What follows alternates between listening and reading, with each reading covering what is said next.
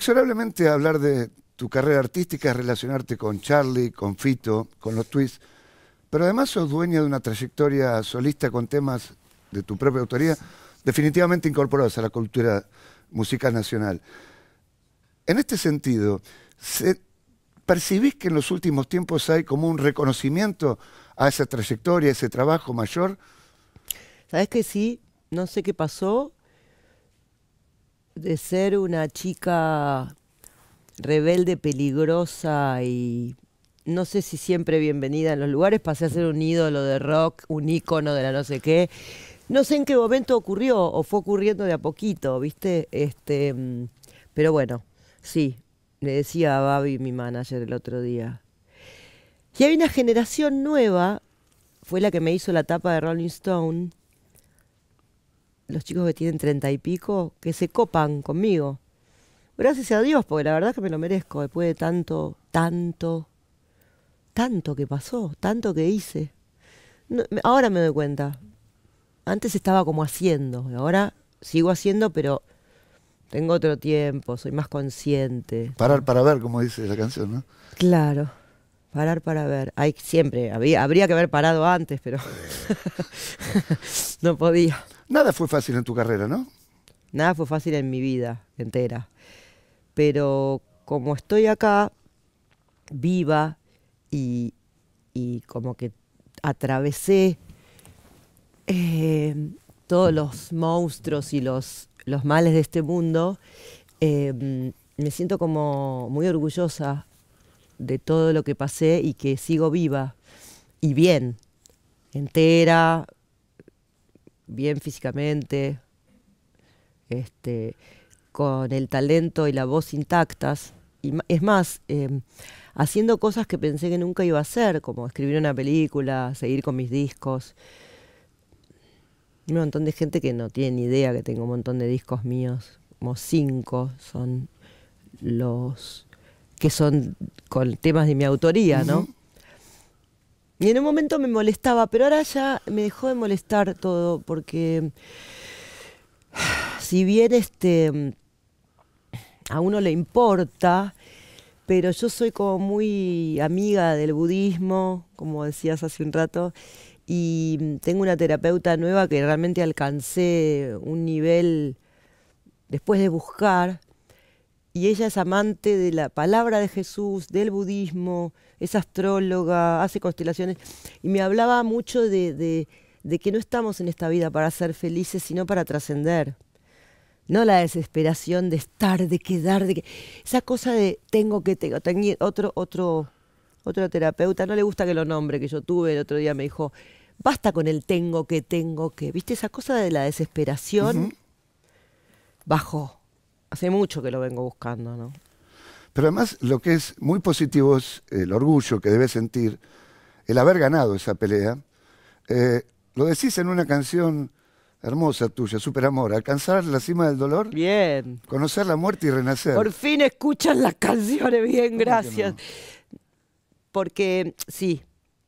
Y sabes que eso lo hago, escribo la canción, hay veces escribo canciones, y después digo, ah, mira, la escribo según lo que, lo que pasa con, la poesía y con, con, el sonido que tienen las palabras a veces, que tienen que ser musicales, además de la música.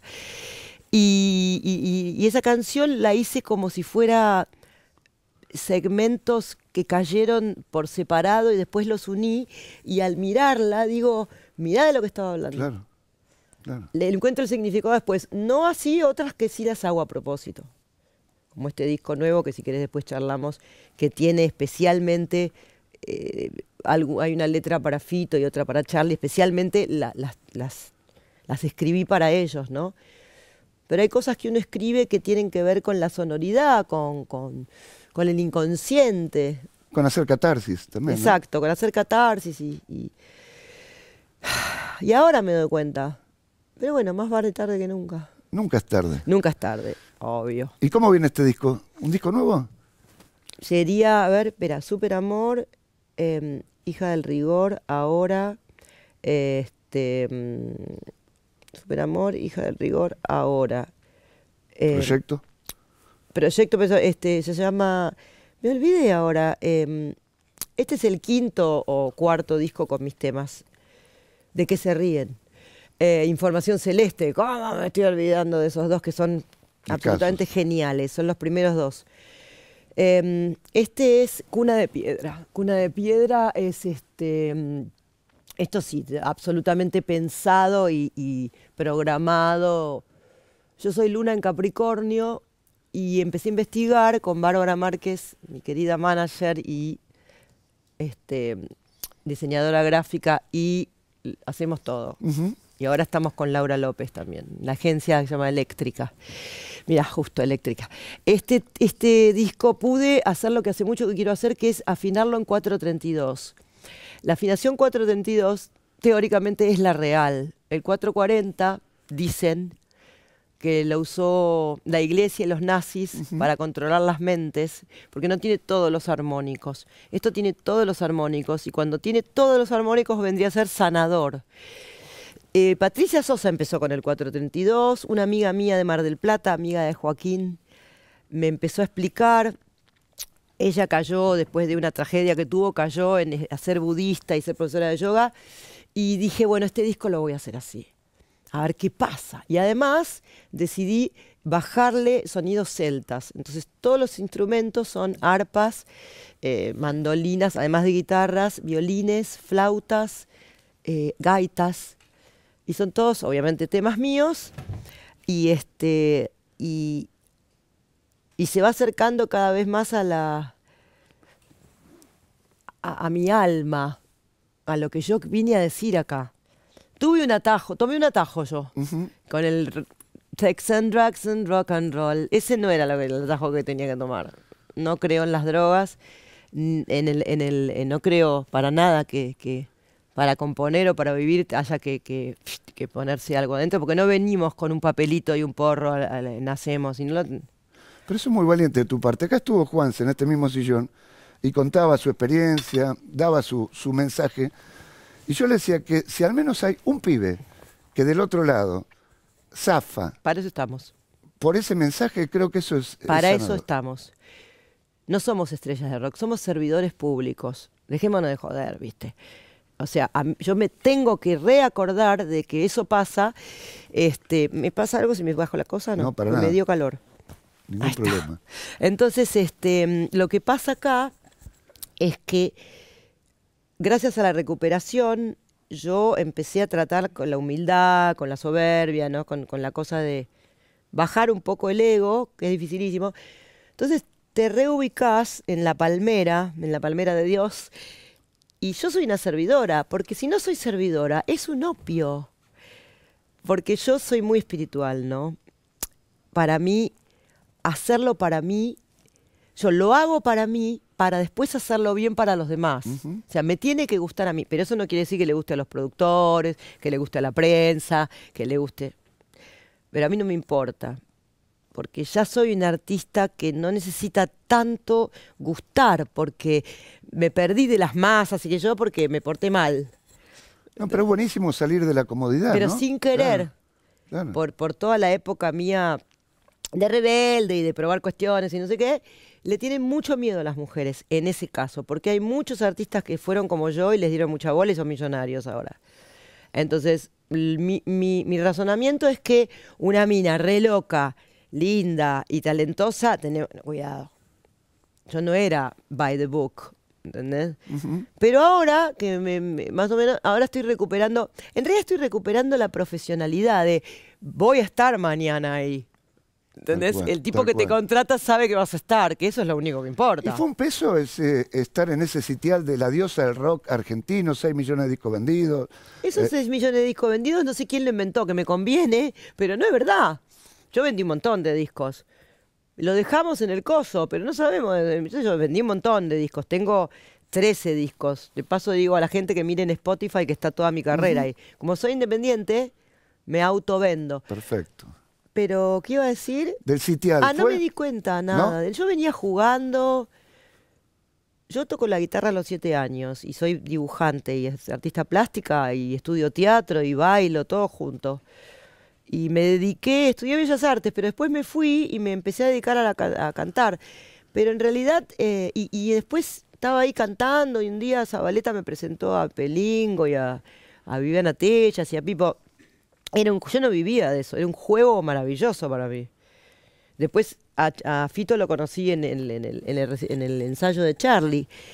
Y seguían siendo un juego para mí. Yo no vivía de eso. No sé bien de qué vivía. Pero en los 80 era un poco extremo. Yo recuerdo los tweets, incluso un recital en Mar del Plata. Ginette Reinal Ay, haciendo qué de genial Cleopatra. ese momento. Estábamos todos re locos. A eso voy. Ginette, sí, sí. Bueno, después tuvimos que parar. Va, yo por lo menos. Era un...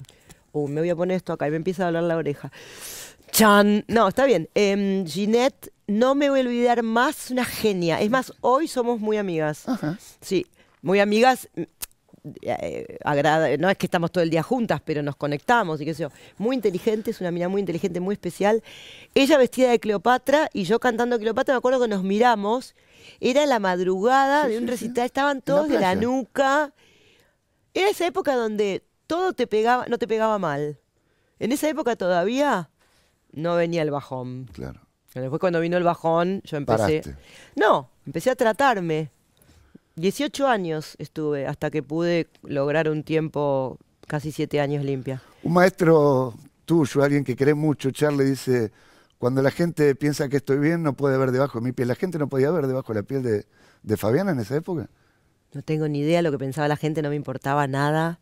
Yo trataba de sobrevivir, o sea, ni siquiera me daba cuenta. Yo estaba tocando, enamorada de alguien, siempre persiguiendo, porque, porque mi, mi patología era que yo eh, me juntaba con alguien que no me daba bola, o si no, me lo hacía. Porque Fito sí me daba bola y otro amigo, otro novio que tuve, Nahuel, me daban bola, pero yo inventaba el- el problema. Relaciones traumáticas. Exacto, las inventaba si no las sabía. Después me di cuenta. Ahora ya te digo, puedo atender gente casi. soy un genio. Estoy chocha con mi. Porque soy, me di cuenta, ah, soy muy inteligente, soy muy talentosa. Ayer. Ayer me di cuenta. ¿Entendés? Este. Digo, qué lástima que no lo sabían. No importa, porque tengo como una mina que me habla. Que, no, no importa, flaca. La verdad, solo por hoy. A ver, la verdad, viste, la, la- la que va a protestar, voy a correr, ya tengo todos los tips para salir porque tengo, he tenido muy buenos terapeutas, he tenido, voy a grupos que no se nombran, pero voy a grupos, voy a grupos. Fabiana, y, y po- Soy la gracias. grupi que va a grupos. Perfecto. El Y amor me engrupo un montón. te hizo. Buscabas a Charlie y llegaste a Fito, ¿verdad eso? No, estábamos todos en un grupito que era Andrés, Melingo, Juan del Barrio, Cachorro, todos antes de los y antes de la- haciendo unas cosas con Viviana Tella, ¿sabes quién es Viviana Sí, Tella? claro. Que era un genio, dirigiendo las Baby Squid. Yo creo que ahora tienen que googlear, porque las Baby Squid nunca más se volvió a repetir, la genialidad máxima. Teníamos a los redonditos, que eran nuestra banda, para que todo. Así unos amigos que estaban por ahí. Tremendo. Era tremendo. Pero yo no me daba cuenta, estaba ahí jodiendo, me encantaba, me gustaba un poco Andrés en ese momento. Fuimos como unos novios, un poquito de noviecitos o amantes, Ajá. ponele. Andrés era el talentoso. Y entonces de golpe apareció la figurita nueva, que era Charlie. y Charlie se fascinó con nosotros. No me acuerdo cómo fue que entró. Creo que fue por mí. Me dijo, ¿vos qué haces? Estaban con Luis un día en, el, en su Mercedes Celeste. Yo canto acá en, en este es en el, en el Einstein y me llevaron. Eh, No yo estaría fumada o algo, no me acuerdo bien. Mucho no me importaba porque yo estaba como ahí, eh, que estaba haciendo lo que quería. ¿Entendés? En la mare magnum de, de- de los marihuanas, ponele. Y, lo- y- yo además estudiaba teatro. Claro. Aparte tenía el taller de mi papá, ahora que me acuerdo. Claro, yo no paraba de hacer cosas. Nunca paré. Hacía danza, estudiaba guitarra, eh, tenía como cinco bandas, entre los, unas bandas rarísimas tenía. Pero Charlie te dio un respaldo. Pará, y después vino Charlie. Claro, claro. No, pero al principio vino Charlie y entonces nos llamó a las Baby Squid a tocar en, en el Coliseo, no sé si sabías de Sí, eso. sí, sí.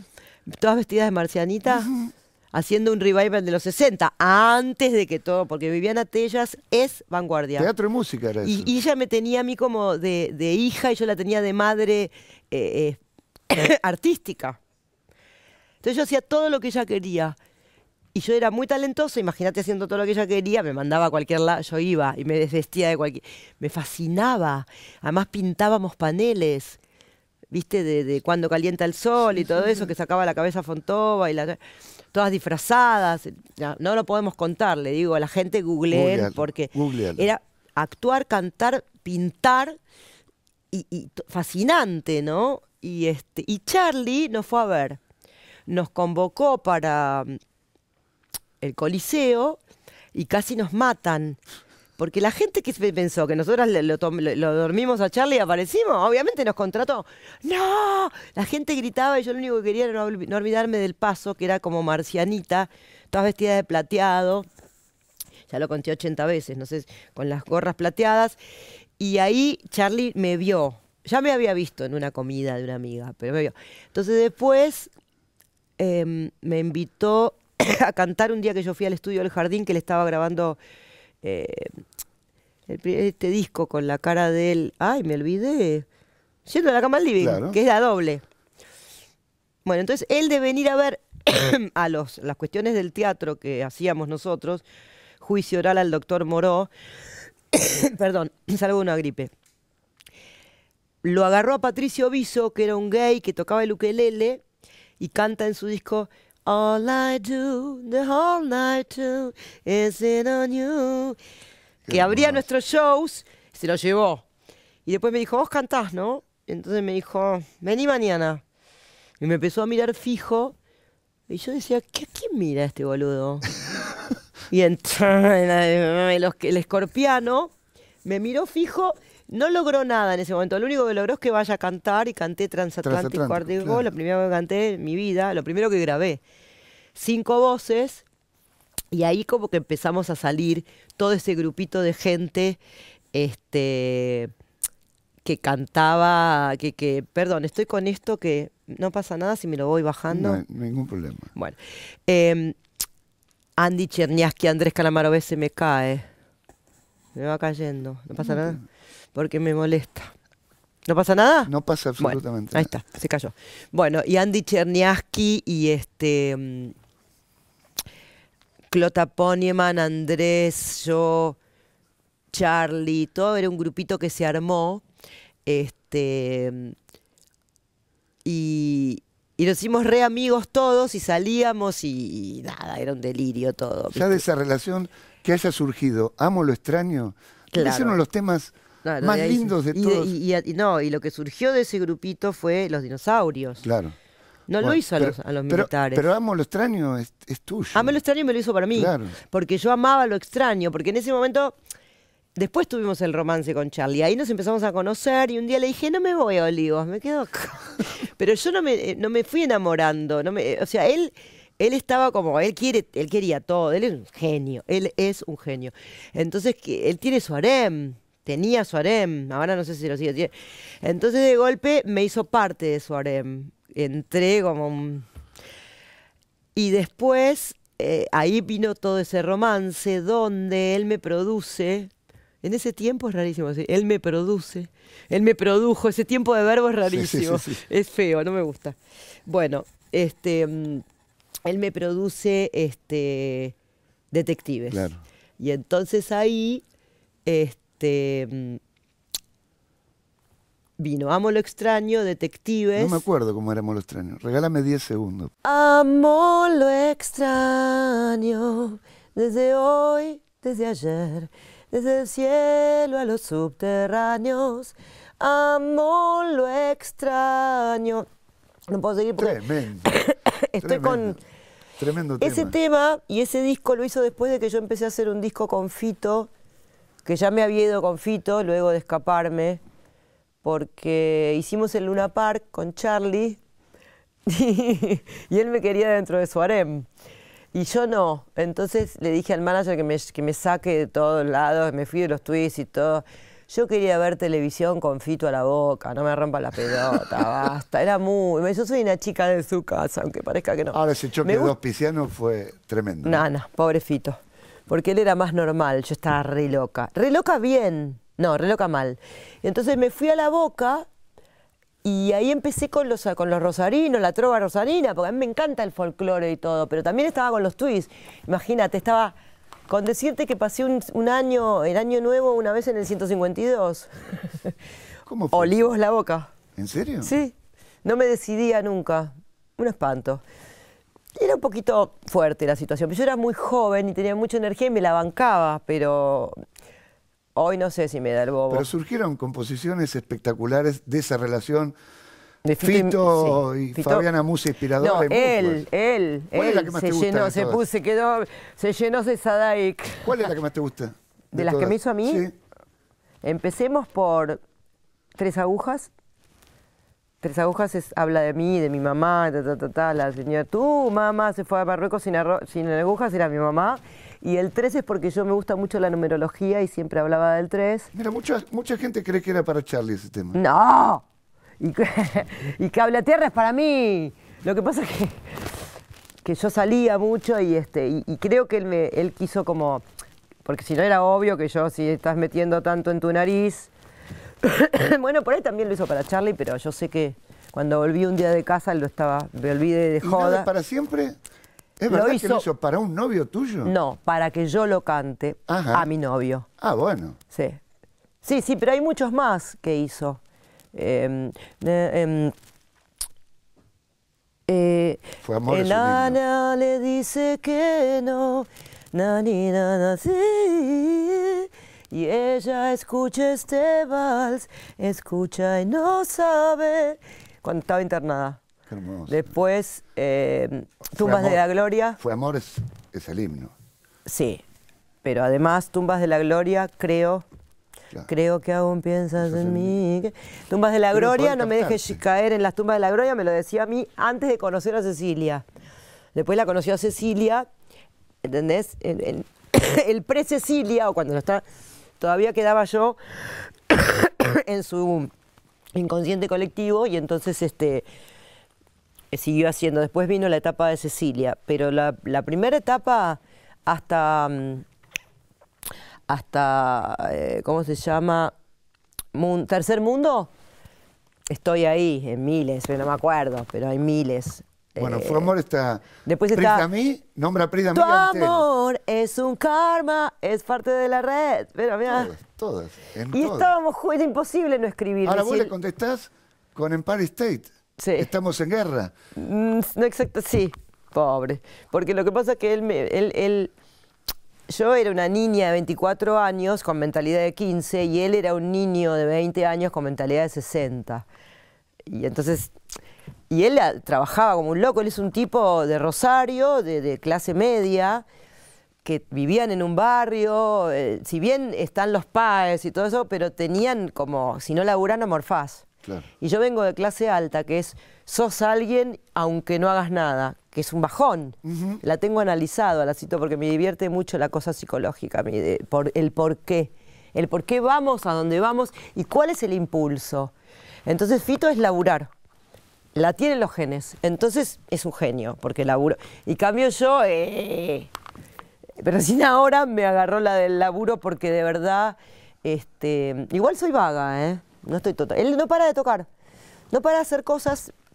Entonces, por eso le fue tan bien. Yo cuando fui a vivir con él, me tiré un poco a chanta y fui de disco en disco y ahí me agarró Charlie y me dijo, ¿quién sos? Mercedes Sosa, te voy a hacer un dinero y decir que no, Charlie. Entonces digo, bueno, a ver. El otro día vos A que veía, ver. veía Fabián un video del 85 en un programa de Andrés Percivale. Fito en el piano, Baglietto y vos cantando Las cosas tienen movimiento, un tema que después inmortalizó Spinetta. Porque lo en pileta y a mí no me gustaba. ¿Es verdad? ¿Es verdad que le decías que ese tema no iba a funcionar? No, pasé, no, le dije una cosa peor. Vivíamos juntos, imagínate Fito y yo viviendo juntos, cada uno con sus bandas y sus cosas. Entonces él estaba tocando el piano y le dije, "Ah", pasé. como diciendo, porque yo conozco las cosas que él puede hacer. Hice como que me parecía muy comercial. A Charlie le decía lo mismo yo. Le decía unas barbaridades. Eso es una mierda. Y el otro se metía en el ropero y me decía, give me a break. Estábamos un poco tomados. Le decía, ¿qué es esta mierda? Que dice, no, porque él empezó en un momento a... eh, Yo lo conocí a Charlie cuando empezó a hacer, eh, después de, de- de- de Yendo de la cama al living, este otro disco... eh, ¡Ay! Clics modernos. ¡Qué rápido que nos salió! clics modernos, yo hice clics modernos con Charlie en vivo. No lo grabé, pero lo hice. Y entonces, este, ahí después me fui. Y, y después de, de Clicks Modernos y Piano Bar, que es Bar. lo mejor que hizo Charlie García, para mí, después empezó a hacer otras cosas y yo nada, yo lo volvía loco. Y no me importaba nada, porque eran mis amigos, le decía cualquier barbaridad, ¿viste? No me gusta esto, me sacaba ca- patadas de la casa. A la madrugada yo salía vestida de disco a las 12 del mediodía, con la pintura corrida, me sacaba patadas. Pero bueno, así fue la relación. Fabiana, a los, a los ocho años cantaste Balada para un Loco ante Nueve. nueve años. Y a los siete, eh, hoy corté una flor de Leonardo Fabio. Ajá. A los siete. Frente, era un- Bueno, pero la, la de Balada para un Sí. Loco nada menos que ante Sí. Astor Piazzolla. Sí. Aquella chica que a los ocho años ya deslumbró. ¿Qué sueños te quedaron por cumplir? Película. Trabajar con... mon- montón, ¿Querés que te diga? Sí, claro. Película que escribí porque cuando hice Proyecto 33, que invito a la gente a mirar el video, por favor, porque lo hice por eso, a ver, que están todos los genios del rock and roll amigos ahí. Bien, entonces, viendo a Charlie y a mí, que no fue Charlie, entonces puse un bonus track, tiene un bonus track, dije, no sé por qué, dije, voy a hacer una película y la voy a protagonizar yo. Lo llamé a Sebastián Mónaco, nieto de Lucas de Mare, un excelente di- director que no es muy conocido. Le digo, vamos a hacer una película que voy a ser la protagonista, porque a esta, a esta altura, ¿quién me? Yo soy muy buena actriz. Y lo sé yo, y no me importa decirlo ahora, ¿viste? Pero la, la inseguridad mata. Pues yo puedo cantar como el culo o bárbaro. Depende de cómo me sienta. No tiene nada que ver. Entonces me di cuenta que yo era así. O sea, por eso no, no puedo con. Fito es muy así y no puedo con él que me dirija. Me- En cambio, Charlie era más bueno. Entonces necesito gente buena. No quiere decir que esté mal, dije que es muy estricto. Sí, sí, sí. Entonces, me he estado en lugares estudiando teatro y me he sentido mal y me he ido. Bueno, la cuestión es que escribí la película. No sé cómo hice. ¿Y? ¿Está para filmarse? Ya está, terminé el otro día el guion, el aproximado al guion para que puedan hacer el guion técnico. Y voy a, tengo a todos los actores, a todos, un montón de gente maravillosa.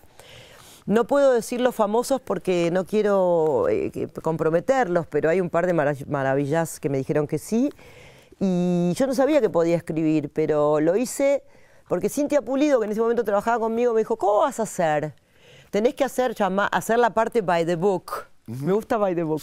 Le dije, ¿sabés qué le voy a hacer? Mira lo que hago. Un grupo de WhatsApp con todos. Entonces todo lo que me acordaba lo iba poniendo y en un año tenía todas las escenas. Qué bueno. Son escenas. Y después empecé a escribir y tengo a una chica que está, me está ayudando, que fue en su momento manager, road manager, que es Cintia Benítez. Y con Quique Barros y con Cintia Benítez y Cintia Pulido y Sebastián Mónaco, escribí y la terminé. Y ahora vamos a empezar a filmar cine independiente, ¿no? Qué lindo, qué lindo. Se puede hacer todo. O sea, Otro sueño cumplido. pero a todo el mundo le quiero decir esto. Puedes hacer lo que quieras. Hay ¿Por un- qué no? Hay un hecho, Fabiana, que el tema de mi enfermedad de calamaro es, es tuyo. Tiene es- las pelotas llenas. Es Fabiana, sí, pero, No, agradezco, pero hay agradezco. algo que es eh, muy... Maradona. No, pero lo gráfico de ese tema es cómo lo cambiaste vos en los recitales. en vivo. Ahora. Y eso habla a las claras de una persona distinta. No estoy vencida. No, sí, es raro esa parte, porque hace tantos años que lo canto y me amigué y me, me peleé con ese tema. Y es una especie de, de dulce condena, porque también tengo un tema de, de Calamaro que habla de eso. Este, me conocen por eso, o sea, si hay alguien que me conoce es por eso, digamos, a, la, a, la- a lo gran, a lo, no sé cómo se dice. Masivo. digamos, me conocen hasta los perros por ser Fabiana Cantilo con mi enfermedad. Gracias, loco. Cuando Maradona me llamó, fue a la misma vez habían metido presa a María José Cantilo. Claro, claro. Entonces llama mi manager al personal le dice, Fabiana está ahí porque no sabe, yo estaba en Córdoba. Era una Cantilo. Está muy bueno. ¿Vos te das cuenta mi karma extraño y, y bizarro? Que es que cuando se da el toque, viene, viene San Maradona y me dice, me, me gusta ese tema, mandó al éter. Yo primero nunca quise sacarme las... Me empezaron a llamar y yo soy fóbica. Digo, no me rompa las bolas, déjelo Maradona tranquilo, que no lo quiero molestar. Es más, no tengo ninguna foto con Maradona. Soy anti hinchapelotas, anti drupi. No grupi, drupi. Drupi. Y entonces después vino la parte donde este, fuimos de gira, que estaba buenísimo ese disco, no sé qué. Me acuerdo de Alberto Samper, que trabajaba conmigo, y lo llama Moya. ¿Fabi está ahí? Sí, porque el otro no sabía, porque Moya tenía fito y un montón de ganas. Sí, está acá, porque pensaba que está, porque en el diario habían puesto a Fabiana. Claro. ¡Qué quilombo! No era el momento, y era el momento me más lindo. chupaba todo un huevo, porque estaba en otra, persiguiendo al ser de... Yo cantaba, hacía todo de taquito. Una loca. Porque estaba persiguiendo al amor, que el amor no se persigue porque el amor propio. El amor es propio. ¿Y cómo estás? El amor, propio. ¿Qué es el, amor propio? Es dignidad y es el amor propio. No se persigue, muchachas. A ver. Está ahí. No puedes pedirle a nadie que te ame. Horror. Yo ya está, hace seis años que estoy sola y estoy feliz. ¿Y te amas? Sí, estoy amándome.